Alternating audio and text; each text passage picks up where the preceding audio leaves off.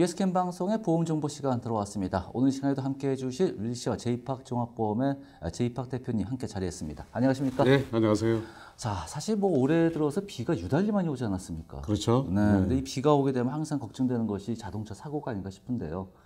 많은 사람들이 자동차 사고가 나면은 이 보험료가 급증한다 이렇게 알고들 있는데 맞죠? 뭐 당연하죠. 자동차 네. 사고가 많이 날수록 보험료가 인상되는 것은 당연한 일입니다. 네. 자, 근데 보험료도 인상이 되지만은 일단 차량 사고가 발생하지 않는 것이 가장 중요하긴 한데요. 이 차량 사고가 발생하게 되면은 사실 많은 분들이 당황하지 않습니까? 그래서 이 어떻게 처리해야 될까 이 걱정도 많이 예, 하시는. 물론 뭐 자동차가 사고 나면은 네. 이게 뭐 자주 있는 일도 아니고 그렇죠. 당황한 수밖에 없는 것이고 특히 네. 우리 여성분들에게는 굉장히 그 어려울 경우가 많습니다. 네. 그러나 일단 사고가 날 때는 나더라도 네. 사고 난 후에 그 처리가 중요하기 때문에 네. 침착하게 당시의 그 사고 경황을 확실하게 음. 그 숙지해서 나중에 그 보험회사에 리포트 할 때 정확하게 또 리포트하는 그런 그 마음가짐이 중요하고 네. 일반적으로 보험회사에서 요구하는 그 방법은 굉장히 간단해요. 네. 우리가 보통 유가 원칙이라고 해갖고 언제 어디서 네. 누가 무엇을 어떻게 how 뭐 이런 식으로 해서 네. when, where, why, what, how, which 이렇게 그런 거기에 맞는 사고 리포트가 필요합니다. 음, 육하 그래서- 원칙 기억하면 네네. 좋겠네요. 뭐 기억을 뭐 발음을 못하겠지만은 네. 사고를 정확하게 그 보험회사에다가 리포트하는 방법은 음. 오히려 보상이라든가 또는 본인이 그 혜택을 받는데 굉장히 도움이 될 수가 있고 네. 나중에 1년이 지난 후에 혹은 팔러시 기간이 지난 후에 리뷰 보험회사 리뷰할 때에도 상당한 영향을 줄 수가 있다고 봅니다. 네. 자, 이 차량 사고 발생 시 상대방 운전자와 또 마찰도 또 가끔씩 일어나는데 어떻습니까? 네, 뭐 흔히들 운전하게 되면 서로의 정보를 교환하게 되죠. 네, 운전면허증이라든가 그렇죠. 차량 등록증이라든가 보험 정보를 세 가지를 꼭 교환하게 되는데 안 주는 경우가 있습니다. 아. 네, 그 뭐냐면은 네. 아, 상대를 뭐 우습게 볼 수도 있고 음. 또 자기가 잘못을 안 했는데 왜 주느냐. 사실 잘잘못의 판단은 본인보다는 결국 나중에 보험회사로부터 판단이 되기 때문에 네. 제가 볼 때는 굉장히 아, 그런 어려운 경우인데 이 경우에 흥분은 절대로 금물이고 네. 또 침착하게 서로 정보를 교환하는 게 좋습니다. 그런데 네. 요즘은 우리가 그 각각 전부 다 그 핸드폰을 갖고 계시고 핸드폰에 그렇죠. 사진기가 있기 때문에 어, 굳이 뭐 특별하게 어, 서로 마찰이 있지 마시고 네. 현장을 그냥 사진을 묵묵히 찍고 중요하게 여기서 길 때는 information 주지 않으면은 음. 상대방 차 또는 자가 사고가 involve된 차에 차량 그 plate number를 반드시 찍어 놓으면은 네. 나중에 크게 도움이 될수 있을 것 같습니다. 네. 자, 그렇게 된다면 이 police report를 꼭 띄어야 되는지 말아야 되는지 이, 이 점에 대해서 많은 분들이 또 문의가 있습니다. 네, 일반적으로 자동차 사고 나면은 경찰이 오면은 참 편하죠. 네. 경찰이 리포트를 해주기 때문에.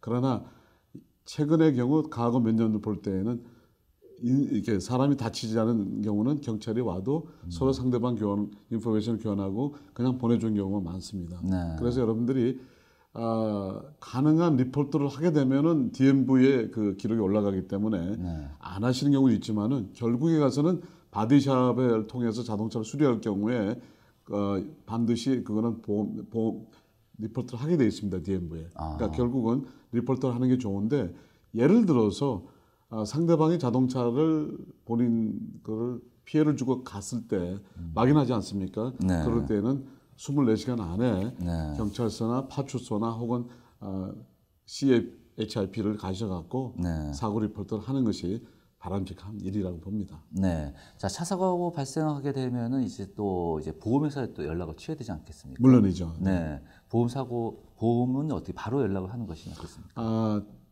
뭐 물론 당연히 immediately 리포트를 해야 되는 원칙을 갖고 있는데요. 네.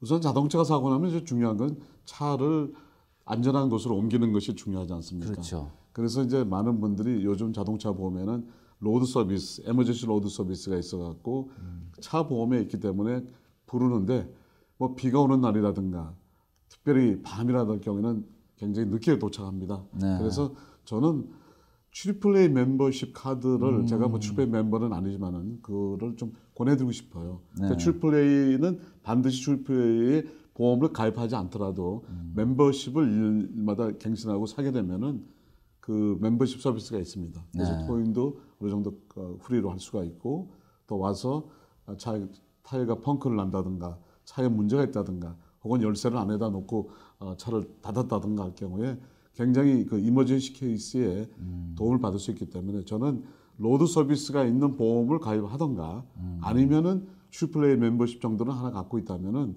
그런 어려움에 아, 특히 여자분들에게 좀 권하고 싶습니다. 뭐, 네. 아, 그리고 이제 비가 올 때는 비가 아주 많이 올 때는 사고가 안 납니다. 왜냐하면 사람들이나 밖에 나가지는 않는데 네. 비가 아주 라이트하게 올 때는 당연히 이 예, 로스앤젤레스나 이 캘리포니아의 도로가 미끄럽기 때문에 차 사고가 날 확률이 많습니다. 네. 그렇기 때문에 비가 첫 올 때 조심하시고 비가 아주 많이 올 때는 당연히 어, 집안에 많이 계시니까 큰 사고 날 염려는 없다고 봅니다. 네, 끝으로 저기 그 보험 약관에 우리가 차 사고 날 때 기억해야 될 항시 좀 생각하고 있어야 될 점이 있다면 어떤 게 있겠습니까? 우선 어, 자동차 사고가 나면은 보험회사에서는 물론 에이전트가 도와주셔서 리포트를 하지만은 반드시 그 본인과의 인터뷰를 어, adjusting compa- adjusting하는 쪽에서 depart에서 전화가 옵니다. 네. 전화가 오게 되면은 꼭 우리가 어, 숙지하게 알려줘야 될 것은 당시의 날씨 상황, 자동차의 그 운전했던 방향, 그리고 늘 지나가는 길이라도